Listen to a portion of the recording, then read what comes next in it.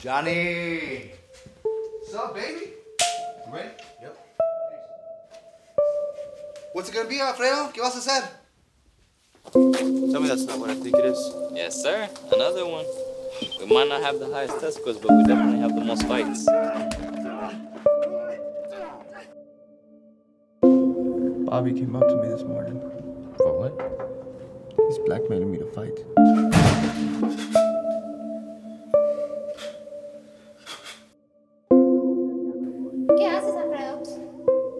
Jessica, back to class. I'll handle this.